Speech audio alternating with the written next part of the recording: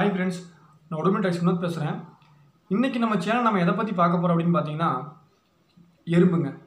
எறும்பு அப்படின்னாலே உங்களுக்கு தெரியாத விஷயம் தெரிஞ்ச விஷயத்தை நான் ஷேர் பண்ண ஆசைப்பட்றேன்.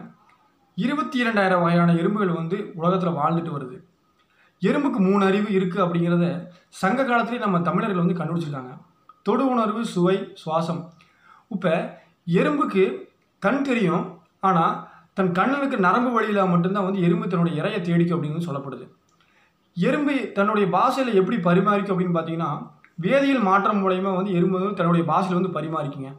எறும்புடைய உடம்புல பார்மிக் அப்படிங்கிற அமிலம் சுரக்கிறதுனால தான் எறும்பு வந்து வரிசையாக போகுது.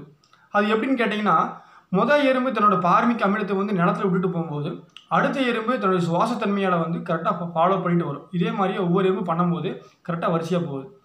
இப்போ எறும்பு வந்து சர்க்கரையை தேடி கரெக்டாக வரும். எப்படின்னு கேட்டிங்கன்னா மனிதர்களுக்கு வந்து சர்க்கரையை வந்து சுவாசிக்கிற தன்மை கிடையாது. ஆனால் அதை சுவை பண்ணால் மட்டும்தான் அதோடைய டேஸ்ட் தெரியும். ஆனால் எறும்புக்கு வந்து எங்கே இருந்தாலும் வந்து கரெக்டாக தன்னுடைய மோப்ப சக்தியில் வந்து சர்க்கரையை தேடி கரெக்டாக வந்துடும் அதனால தான் நம்ம வீட்டில் எங்கே நீங்கள் சர்க்கரை வச்சுனாலும் எறும்பு வந்து கண்டிப்பாக வந்துடுது இப்போ அதே நம்ம வீட்டில் சிமெண்ட் தேயிலை நீங்கள் பார்த்தீங்கன்னா எறும்பு ஊறுற இடத்துல எல்லாம் வந்து அப்படியே வெள்ளை வெள்ளையாக இருக்கும். அது எப்படின்னு கேட்டிங்கன்னா பார்மிக் அமிலத்துடைய அதோடைய தன்மை வந்து பார்த்தீங்கன்னாக்கா தரையை க்ளீன் பண்ணுறதுன்னு சொல்லிட்டு சொல்லலாம்.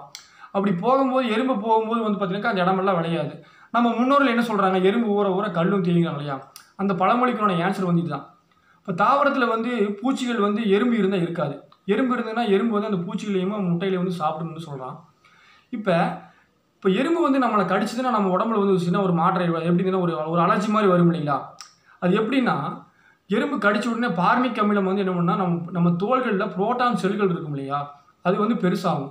பெருசாகும் அந்த இடத்துல வந்து ரத்த ஓட்டத்தை ஸ்டாப் பண்ணி அந்த இடம் வீங்கி நமக்கு வந்து அலர்ஜி மாதிரி ஒரு அரிப்பு மாதிரி வரும். இப்போ வந்து இது வந்து நான் சொன்னது வந்து எறும்பு வந்து கடிச்ச உடனே ஒரு செகண்ட் நடக்கக்கூடிய ஒரு சில விஷயம். இப்போ அதே எறும்பு வந்து இருபத்தி இரண்டாயிரம் வகையான எறும்பு இருக்குன்னு நான் உங்கள்கிட்ட சொன்னல பார்த்தீங்களா?